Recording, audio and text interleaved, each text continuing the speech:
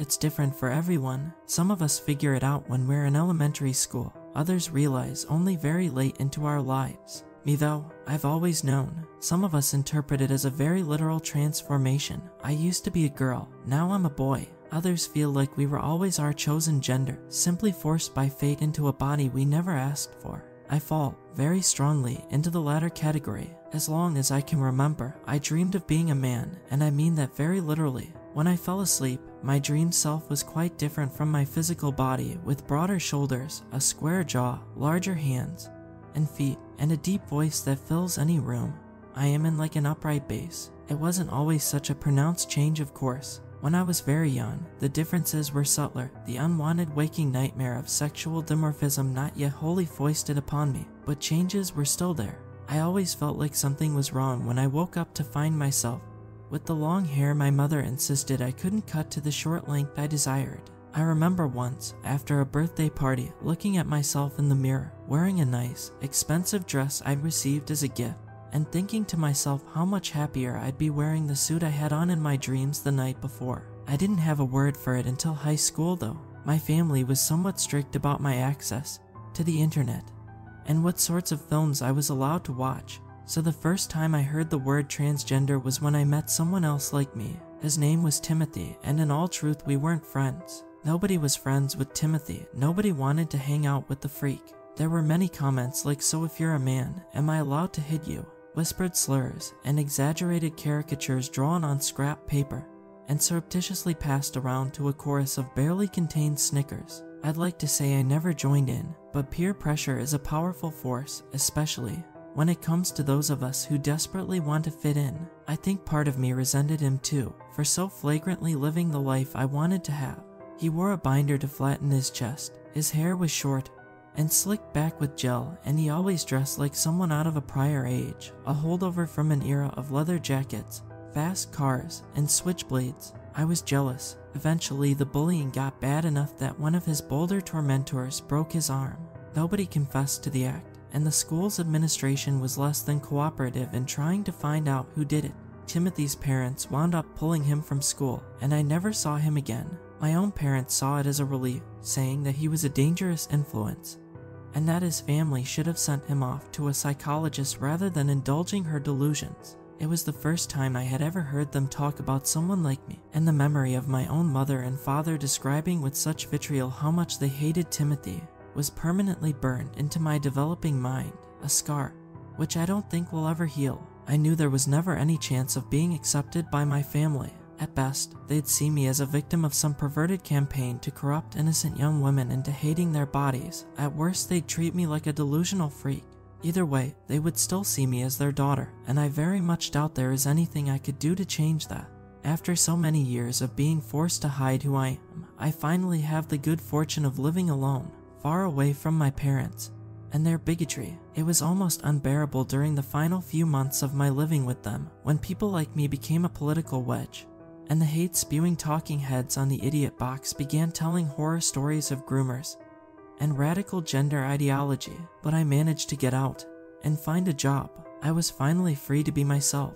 Well, more or less, I was out publicly to friends and coworkers. I bound my breasts. People called me Victor rather than the stupid name on my driver's license. But in terms of actual medical treatment, I was still stuck at square one. The thing that they don't tell you is it's actually rather difficult to get on hormones, at least if you're a transgender man, estradiol, and the like aren't controlled substances. If worst comes to worst, an uninsured trans woman can get her hands on some hormones via the gray market, and the process of getting a prescription is far quicker. Testosterone, however, is a Schedule 3 controlled substance, the same tier as anabolic steroids. Or ketamine. Getting a prescription is a bit more of an involved process and going through unofficial channels that result in a felony. You get caught. So, finally liberated from my family, I now had to deal with the frustration of the medical system. My crummy job working at a movie theater didn't exactly have the best insurance plan, and by the time I did manage to get in touch with a doctor about getting an appointment set up, I was informed the soonest I could see someone would be several months, at least. Without going into too much detail, certain conservative politicians in my state had made it rather difficult to get gender affirming care via telehealth out of a fear that it would be too easy for impressionable adolescents to permanently alter their bodies, so I simply had to sit around and twiddle my thumbs, waiting for my turn at one of the rapidly dwindling number of clinics that offered consultations for getting on hormone replacement therapy. Of course, I knew that hormones aren't mandatory for being a real man, and I knew that even if I did manage to get on testosterone, it wouldn't make the bigots any more convinced of my masculinity. But I still couldn't help but feel a twinge of sadness. Whenever I looked in the mirror, the reflection that stared back at me didn't feel right. It didn't feel like me. Do you have any idea how terrible it is to feel trapped in a body which is utterly wrong? To have your own flesh and blood betray you every second of every day. I coped as best as I could, and spending time with supportive friends helped. But really, the most comforting thing throughout this ordeal was my dreams. Even if I couldn't pass as male in the waking world, even if I had to deal with the thank you miss and howdy ma'ams from the customers at work, when I slept, it was as though my mind and body were in perfect alignment. It sometimes felt like my own mind was comforting me, covering me with a blanket of fantasy to soothe the pain. Even in my darkest nightmares, I always had a body that felt like it belonged to me. All my dreams are especially vivid while they last. I do find they tend to fade quite quickly upon awakening, something which has only seemed to get worse as I get older. To cope with this, I began to write down records of my nocturnal visions, first in a notebook, then later on a blog under the pseudonym of Dysphoric Dreamer 98. I found it easier to reach for my phone to jot down a quick post while the memory was freshest than having to fiddle about with pen and paper. Besides, while my little blog wasn't especially popular or anything, seeing people comment on my posts, especially other trans men, made me happy. It brought me a little joy to know I'm not alone. Now, obviously, I didn't put out any sort of personal information on my blog. No photos, no mention of where I work, not my real name, hell, not even which state I live in. This is why it was so odd when I found the package on my doorstep one morning, all wrapped up in brown paper and twine, addressed to Dysphoric Dreamer 98. There was no return address, so I had no idea who could have sent it. In a panic, I simply shut the door and left the package outside, running over to my computer to search the web to see if I'd been doxxed or something like that. I didn't think I'd ever said anything particularly controversial, and it wasn't as though I had any sort of wide audience. I wrote a digital dream journal with a follower count in the double digits for goodness sake. It's not like I was a celebrity. Once I was satisfied that I hadn't had my personal information posted publicly or stolen in a leak of some sort, I opened my front door again and peeked out at the package, feeling oddly nervous as if worried it was going to sprout teeth and bite me. After I was satisfied that it wasn't going blow up or catch fire or anything like that, I brought it inside and set it down on my desk cutting off the twine with my pocket knife and unwrapping it. I was greeted with an old wooden box of the sort that would be used to hold expensive jewelry. It was covered all over with elaborate ornamentation, a combination of floral and geometric designs. There was something oddly hypnotic about the patterns formed by the embossed flowers and curving lines, and I spent about a minute simply admiring the craftsmanship of the thing before I actually set about opening it. The contents of the box were a small glass vial filled with liquid, a metal syringe that looked as though it were fashioned in the Victorian era, and a note written on very old parchment in elegant looking cursive. This is what it said Dear Sir, you've spent every night dreaming of who you truly are. It is time to make those dreams into reality. Inject intramuscularly once per week, 1 milliliter. Expect results in 3 to 4 weeks. Sincerely, a friend. Now, I'm not stupid. Obviously, I didn't immediately start injecting myself with mysterious fluid I found in a box left on my front door by an anonymous stranger. As a matter of fact, my first thought was that someone was trying to poison me. I didn't know who would want me dead, but given the circumstances, I thought a little bit of paranoia was the healthiest approach to take. Part of me wondered if my family had somehow been informed of my blog and were trying to discreetly assassinate me in order to ensure I'd never be able to medically or legally transition. I didn't have any evidence of this, but it seemed far more logical than there being some hormone gifting Good Samaritan wandering about leaving vials of testosterone on the doors of disadvantaged trans men. Besides, whatever was contained within the vial didn't look like testosterone, at least not in any form I was familiar with. It was tinged slightly purple and seemed to sparkle when I held it up to the light. I did consider calling the police, but I decided against it. Realistically, all they'd do is confiscate the box, and I was worried that I could get in trouble if the contents of the vial did end up being some kind of poison or illicit substance. Besides, I couldn't bring myself to throw it away, and so I tried to do my best to forget about the box and its contents. I didn't tell anyone about it, not even my friends, though I'm not entirely sure why that is. I suppose I may have rationalized it as trying to keep myself safe from being reported to the police. But that's not really true. Something about it just felt private to me. Inherently, it was a subject that necessitated secrecy. Its presence kept nagging at me, however, and it never felt like I'd ever be fully able to erase it from my mind. Sometimes, I'd open up the box and just stare at the vial for a while, considering it silently before shutting the lid and pushing it back under the bed. Regardless, I managed to more or less successfully ignore the box for around a month. It was a combination of many discrete factors that led to me giving in, and even after what I've experienced. And even though I know it was a stupid decision, I'm unable to bring myself to feel any sort of regret for it.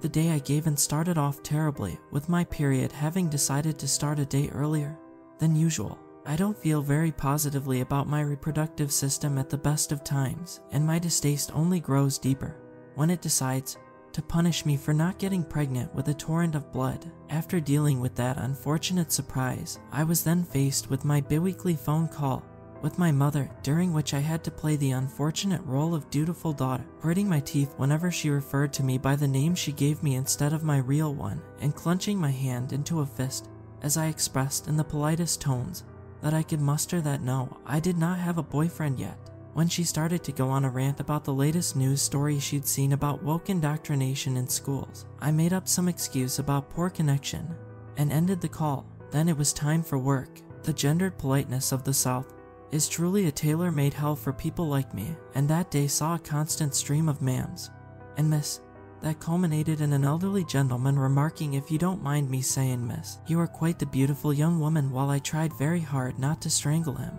But really, truly, I think that the deciding factor that made me open up that box and try my luck with my anonymous benefactor's vial of mystery fluid was the text message I received as I walked through my front door informing me that my consultation had been postponed again. I'll be honest, when I readied that first injection, Part of me hoped it was poison. It wasn't a large part of me, but that urge to just give up, embrace the call of the void, and descend into a peaceful oblivion, it was there. To sleep, perchance to dream, as Shakespeare put it. When non existence no longer frightens you, it is far easier to take risks. I didn't use the syringe that came with the box. While it seemed to be in pristine condition, I didn't trust something that looked that old, and I certainly had no desire to contract tetanus or something.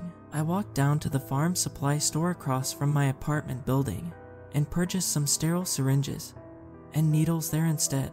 When I got back to the apartment, I spent a few minutes looking up where was best to inject, how to make sure I avoided pricking any veins and arteries, etc., until I finally felt fairly confident that I could actually do it successfully. There was no stalling after that. I didn't want to give myself a chance to change my mind. I popped the cork on the vial, got a milliliter of that strange purple fluid into the syringe, and plunged the needle into my thigh. It hurt far less than I thought it would, if I'm being honest. If you'd asked me before that day if I would have been able to perform injections myself, I'd have told you no. I've always felt slightly uncomfortable whenever I had to get a vaccine or have a blood test done. Something about needles just made me deeply nervous, but this felt right, and outside of a slight pinch, and some pressure as I pushed down the plunger, it was largely painless. I pulled out the needle and applied a small bandage to the tiny puncture mark, though the needle was so thin no blood actually welled up at all. Then I went to bed early, hoping that tomorrow would be a better day. I woke up the next morning, writing down my latest dream on my blog in the haze of half consciousness, and then got out of bed, pleasantly noting that I was not, in fact, dead. Whatever the liquid in the vial was, it at the very least wasn't toxic. There wasn't even so much as a raised bump at the injection site. Thus began my routine of injecting the purplish mystery fluid into my thigh every Friday before bed. Just as the note said, it was around the four week mark when I started to actually see results. I was washing my face as part of my morning routine when I noticed something faint on my upper lip. I looked closer to see it was a few dark hairs sprouting out from the previously smooth skin of my face. Excitedly, I looked closer, seeing with delight that all over my jaw, here and there, little hairs were poking up from my flesh. I was beginning to grow facial hair. As a matter of fact, on closer inspection of the rest of my me, I was beginning to grow more hair all over my body. It wasn't as though I'd awoken looking like Bigfoot, but it was a noticeable change from my appearance the night before. I was ecstatic. Now, I have to be honest here, I didn't actually know exactly how quickly testosterone was supposed to work, nor what the exact effects were. It may seem lazy, but I never really had sat down to read out how long it would take, what specific results I could expect to see, etc. I think a part of me always saw it as a borderline unachievable fantasy, so there was no reason for me to ever look up the details. However, even I should have known better than to think what happened was normal. For one thing, the injections worked fast, once the four week mark was hit. And the changes began. It was like a dam had broken. By five weeks, my voice was already starting to deepen. Six weeks in, and I was able to grow a faint mustache. Seven weeks, and I had chest hair. Looking back on it now, it should have been obvious to me that this was too fast. These sorts of things take months and years to accomplish, not weeks. There was a faint tinge of nervousness during the 12th week as I looked at myself in the mirror and realized I was taller than I was before. It was the first hint that something was wrong. Testosterone can do a lot of things, but it can't change your bone structure. That wasn't the only sign that something was off. I began to get these feelings of deja vu on occasion, about once a week, and I could never place exactly what it was. I didn't keep track of every time it happened, obviously, but I do remember a few of the most noteworthy examples. The first time was when I was doing a bit of shopping downtown and saw a street performer, a clown riding atop a penny farthing bicycle. He wasn't frightening at all. I've never been afraid of clowns, but there was something unsettling about him. He didn't seem to fit in with his surroundings. As he glided through the crowd, occasionally honking his horn and taking his hands off the handlebars to juggle some balls. Nobody else seemed to pay him any mind though, they just kept on walking past him.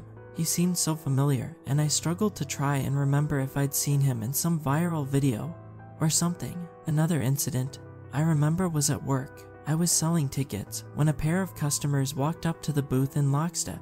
They were identical twins, each the spitting image of the other, and wore the exact same style of formal black suit. Where here started the one on the left. To purchase some tickets continued the twin on the right. For the 2 o'clock show finished the first twin. The pair of them frankly freaked me out, but I didn't want to be rude, so I did as they asked and got them their tickets. They paid in cash, using only $2 bills. They bowed in unison after I handed them their tickets and then marched in time to the theater I had indicated. I actually checked the purchase logs later to make sure I hadn't imagined it all, as well as looking in the register to see if their $2 bills were still there, and everything was still there. Like with the clown, the oddest part was that they seemed so familiar, as if their names were right on the tip of my tongue. I had another encounter at a thrift store. I was shopping for some new clothes when I was approached by a short gentleman with white hair who asked me, Can I help you to find anything, sir? I turned to respond that I was fine when I noticed that his eyes were two different colors one blue, one brown. Something about this made my mind scream at me to remember that this was someone who I had met before, but I just couldn't place my finger on why. I stuttered out some noncommittal grunt, and he nodded before walking away. I stumbled out of the thrift store without buying anything and went straight home. The most recent incident is what made me put all the pieces together. I was taking a nighttime walk, something I felt more comfortable doing now due to my increased bulk and deeper voice. I felt safer knowing that any creeps would be less likely to see me as a potential target. Plus, I'd been hitting the gym, so I felt confident in my ability to fight off anyone who'd try. I was thinking about how much my life had improved since I'd gotten the package and wondering about what I'd do once the vial had run out. There were only a couple doses left, but my HRT consultation was only a few days away. Should I try and get more of what I was already taking, or should I switch over to a more legitimate source? It wasn't as though I had any method through which to contact my anonymous benefactor. As I pondered this, I heard a faint hissing noise from a nearby alley, a whisper like someone was trying to beckon me inside. I peered down the alleyway cautiously, trying to get a good look at whoever was trying to attract my attention. I could see the faint outline of a figure hidden partially by the shadows, but I couldn't make out any details. I gently touched my pocket knife just to remind myself it was still there, and then stepped into the alley. I know it sounds like a stupid decision, and it was, but at that moment I thought that they may have been the mysterious friend who'd given me the vial. In the first place, I figured they may have wanted to deliver the next supply in person, and frankly, I wanted to thank them for changing my life. I was still nervous, of course I was, but after all that had happened, I didn't want to seem ungrateful. I stepped into the alley, cautiously, and made my way over to the figure. They hissed at me again, beckoning for me to come closer. With a gloved hand, as my eyes adjusted to the dark, I saw that they were a thin man in a long overcoat, wearing a wide brimmed hat. Despite the night, a pair of dark sunglasses, they looked like some sort of secret agent stock character. His mouth was stretched wide in a toothy grin. When I was about 10 feet from him, I stopped and asked, Hello, are you the person who gave me the package? At the vial, without moving a muscle on his face, he hissed at me again and then held up his hand in front of his face. Using his other hand, he began to slowly pull off the glove. It was hard to tell at first, in the darkness of the alley, what exactly I was seeing, besides the simple fact that the human brain has difficulty recognizing that which ought not to be. His fingers shone slightly as they moved sinuously in the pale reflected light of the faraway street lamps, glittering like stars. Then he began to walk towards me with shaky steps, and I realized with a sudden shock what I was looking at. The man's fingers were snakes. I tried to back away, but he lunged for me, hissing erupting from his writhing fingers as they latched onto my shoulder, extending out several feet from his arm. I didn't feel them break skin, however, fortunately, my denim jacket seemed to take the brunt of it. I slashed at the wriggling serpents with my pocket knife and ran when they retreated from the flashing blade. I kept running all the way home and didn't stop running until I was safely in my apartment with the door firmly locked and bolted. Despite the completely surreal and impossible nature of what had just happened, it all felt so familiar, and finally, the gears, and my brain started to move, and I realized what it was that linked all of the strange interactions I had. I turned on my computer and went to check my blog, searching up keywords and reading through my recorded dreams with a sense of dawning horror. September 12th, 2023, dreamed I was a lion tamer in some sort of circus. The lions were full of stuffing. One accidentally got caught on some fencing and was ripped open. The audience loved it. They were still heavy though. I lifted one up and everyone cheered. I guess I was a strongman as well as a lion tamer. Dream ended with a clown on an old fashioned bicycle riding across a tightrope over a big pool of water. The ringmaster said the pool was full of piranhas, but all I saw were what looked like eels or big worms. I woke up when the clown fell off his bike. October 24th, 2023. I was a knight going to save a princess who was trapped in a big floating tower accompanied by a sloth for some reason. On the way there, encountered a very polite two-headed ogre. Each head would finish the other's sentences, and it would bow at me frequently. Eventually reached the tower, but the princess was happy there and told me to go away. Woke up soon after, November 17, 2023, in an old library, trying to do some research for something. Can't remember what. Went to go get help from a librarian, but he was a husky with two different colored eyes, one blue, one brown. That distracted by this, and we got to talking for the rest of the dream, my research forgotten. It was very philosophical, but I can't actually really remember what we talked about much. He did call me a handsome young man though. January 2nd, 2023. Nightmare. Man made of snakes. Don't want to think about it. I sat back in my chair, one hand over my mouth. I felt sick. This wasn't possible. This wasn't something that could be real. I told myself that I must be hallucinating, that it couldn't possibly be real life, but then I looked over at the shoulder of my jacket and noticed the bite marks in the rough fabric. There was even a broken off fang sticking out. I thought about the strange twins and their $2 bills in the register. Besides, it wasn't as though I was the only person who had noticed the changes to my body. My friends and coworkers had commented on it. Customers addressed me as sir. I had to buy new clothes to fit my changed physique. This was real. Whatever it was I had been taking, it was making my dreams into reality. There was a knock on my front door. I got up and checked the peephole, but nobody was there. Opening the door, I saw a new package, wrapped up in brown paper and tied up with string. It was addressed to Dysphoric Dreamer 98. I don't know what to do from here. I've spent the past day just going through all the posts on my blog tagged Nightmare, weighing the pros and cons of continuing my treatment. The package lies unopened on my kitchen table. For now, You've got to understand, this substance, whatever it is, has made me happier than I've ever been before, but I'm worried for my safety. I got lucky this time. I managed to get away, but what about the next time? And the time after that? Do I risk acting out my nightmares in the waking world to live the life that makes me happy? To make matters worse, I got a text message. My consultation has once again been pushed back another three weeks. I don't even have the luxury of a third option. I have to choose between going cold turkey or sticking with whatever my friend has sent me. I hope I make the right decision.